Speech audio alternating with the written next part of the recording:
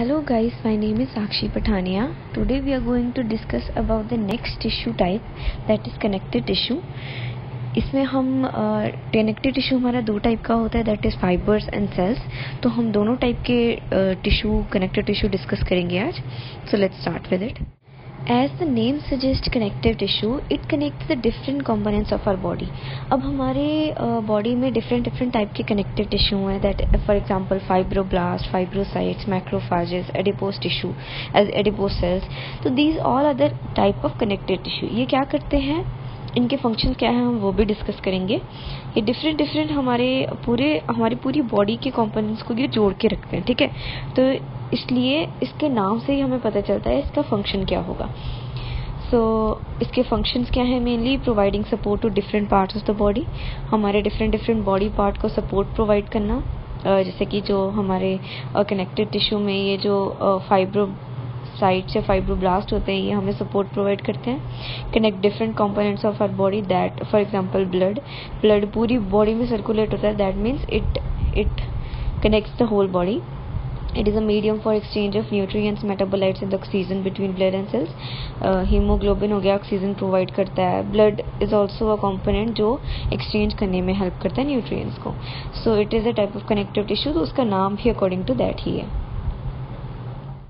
So, सबसे पहले हम सेल्स जो कनेक्टिव टिश्यू के सेल्स हैं उसके बारे में डिस्कस करेंगे then we going to discuss about the fibres cells में सबसे पहला है फाइब्रोब्लास्ट। फाइब्रोब्लास्ट क्या है? ये वो सेल है जो सिंथेसिस करता है कॉलेजन फाइबर्स को, इलास्टिक फाइबर्स को। इसलिए इनको फाइब्रोब्लास्ट कहा जाता है। फाइब्रोब्लास्ट मतलब एक ऐसे टाइप ऑफ़ स्टेम सेल जिससे further collagen fibre elastic fibres मिलते हैं, ठीक है? अब फाइब्रोसाइट्स क्या है? Fibrocytes when fibroblast gets mature तब हमारा फाइब्रोसाइट्स बनते हैं। तो मेच्योर्ड फाइब्रोब्लास्ट को फाइब्रोसाइट्स कहते हैं।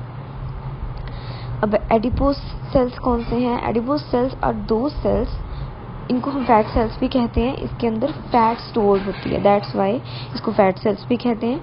ये राउंडेड शेप में होते हैं बट यूजुअली ग्रुप में प्रेजेंट होते हैं। इनकी वेरिएबिलिटी बहुत होती है इसके शेप में। उसके बाद इसके अंदर फैट ग्लोब्यूल्स होते हैं इसके साइटोप्लाज्म में। That's why it is its function is to store fat in their cytoplasm उसके बाद फैट प्रेजेंट होने की वजह से इसका जो न्यूक्लियस है, वो पेरीफेरी की तरफ़ टूवर्ड्स होता है। और नेक्स्ट स्लाइड में हम इसका स्ट्रक्चर देखेंगे तो यू कैन सी इसका जो न्यूक्लियस है, वो पेरीफेरी की साइड होता है। Same as plasma cell plasma cell या तो राउंडेड होता है ओवर्ड शेप में होता है, ठीक है?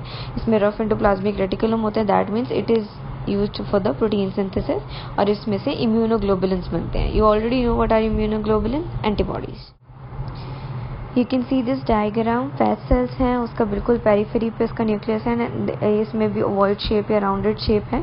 इसमें रफ एंडोप्लाज्मिक रेटिकुलम मौजूद होता है और इसका न्यूक्लियस कार्ट व्हील टाइप होता है।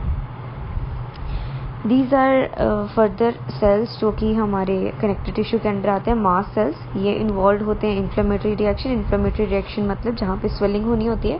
जैसे फॉर एग्जांपल अगर कहीं पे हनी भी आपको बाइट कर दे तो वहाँ पे स्वेलिंग हो जाती है. तो that is a type of inflammatory reaction जो कि मास सेल्स इन्वॉल्व होते हैं इसमें।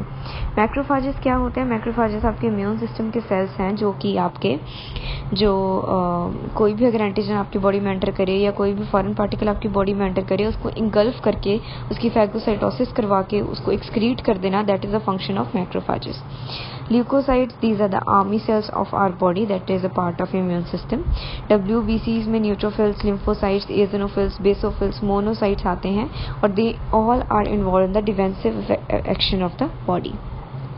Pigment cells of which provide colour to your skin अब मेलानिन होता है एक ऐसा पिगमेंट जो आपकी स्किन को कलर प्रोवाइड करता है and it also protect you from the sunlight that's why जैसे ही हम सनलाइट में जाते हैं तो हमारा जो कलर है वो ब्राउन होने लग पड़ता है because of the production of melanin it protects our skin it protects our in component from the UV radiation of sun what are the mesenchymal cell these are these are the type of stem cell जो undifferentiated होता है और इससे different different variety of cell types बनते हैं। That is a part of connect next है हमारे fibres हमने सेल्स डिस्कस कर लिए। नेक्स्ट है fibres first one is collagen fibres ये फ्लेक्सिबल होते हैं बट इनकी टेंसाइल स्ट्रेंथ बहुत होती है। टेंडन्स लिगामेंट्स और हर टाइप के कनेक्टिव टिश्यू में हमारे कॉलेजन फाइबर्स होते हैं। हमने मैंने पहले बताया था कॉलेजन फाइबर्स कहाँ से बनते हैं? फ्रॉम फाइब्रोब्लास्ट ठीक है?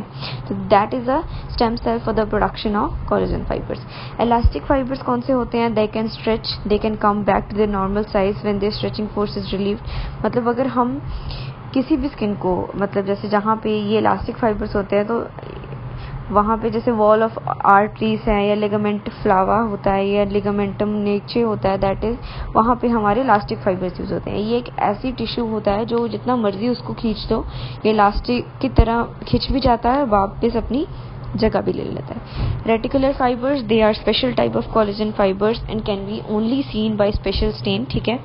ये special type of collagen fibre मतलब कॉलेजन फाइबर्स का ही टाइप है। They are seen in the connected tissue framework of spleen liver lymph node मतलब ये यहाँ यहाँ पे पाए जाते this is the diagram showing different different connective tissue collect collagen fibre you can see red colour fibres elastic fibre fibroblast mast cells white blood cells these all are the component of connective tissue मतलब आप एक ही slide में इनको देख पा रहे हो।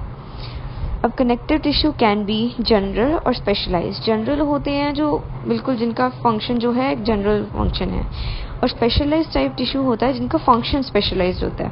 जैसे जनरल में आते हैं loose connective tissue dense connective tissue mucoid tissue adipose tissue but specialise में हमारे आते हैं कार्टिलेज जिसकी हेलिन कार्टिलेज है इलास्टिक कार्टिलेज है फाइब्रो कार्टिलेज है, या बोन जो कि ऑर्गेनिक या इनऑर्गेनिक सब्सटेंसेस से बने होते हैं, या हीमो हीमोलिम्फॉइड टिश्यू जो कि blood and lymphatic falls in the group blood lymphatic system ये सारा कुछ हीमोलिम्फॉइड टिश्यू में आता है। तो these are the specialise tissue जो कि स्पेशल फ़ंक्शन परफॉर्म करते हैं।